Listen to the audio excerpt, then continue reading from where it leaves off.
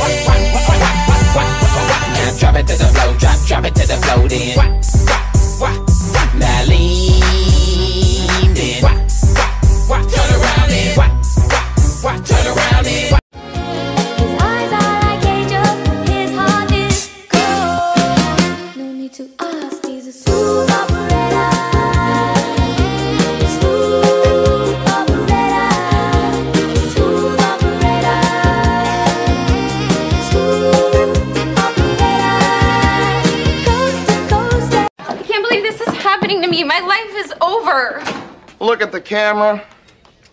I'm so humiliated. And turn to the side.